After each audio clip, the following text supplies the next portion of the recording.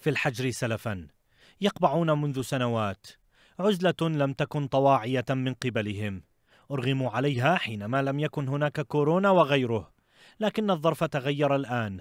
فالموت المتواصل تحت التعذيب. تدق جهات حقوقية ودول ناقوس كارثة إلى جانبه.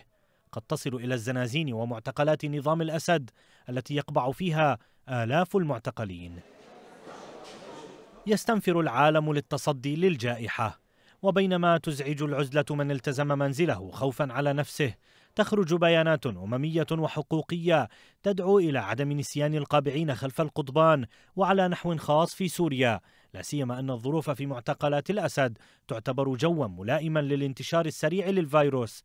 ظروف حذرت منها أمريكا ودعت نظام الأسد إلى اتخاذ خطوات دقيقة لحماية مستقبل آلاف المدنيين. هل تقارن الظروف التي تتحدث عنها الخارجية الأمريكية مع ما يحصل في معتقلات الأسد؟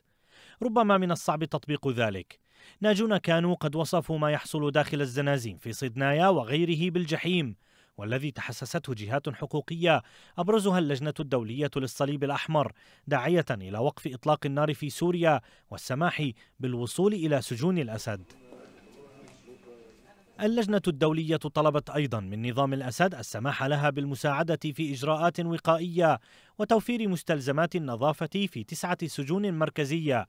وإلى جانبها خرجت أصوات من منظمتي العفو الدولية وهيومن رايتس ووتش حذرت من كارثة إنسانية كبيرة وخاصة أن رؤساء الأفرع الأمنية لا يقدمون أي رعاية صحية لأمراض أبسط من كورونا.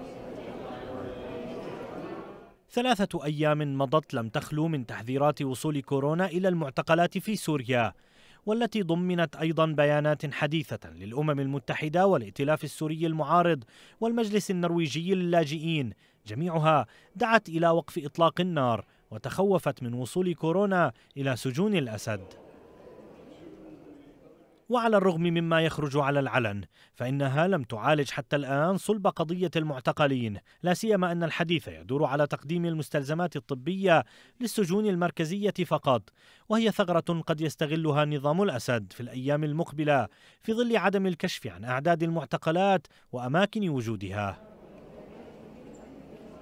وإلى ما هو أبعد من ذلك وفي إطار المراوغة المستمرة ربما يكون مرسوم العفو الجزئي الأخير خدعة اتبعها نظام الأسد استجابة للتحذيرات الأممية والتي وحتى الآن ما تزال حبرا على ورق كانت قد سبقتها دعوات ومطالبات لم تغير في الواقع شيئا. نبحث القطاع الصحي في سوريا ونتحدث كم نحن بحاجة من المشافي والأطباء وغيرها لمعالجة الأمراض الموجودة.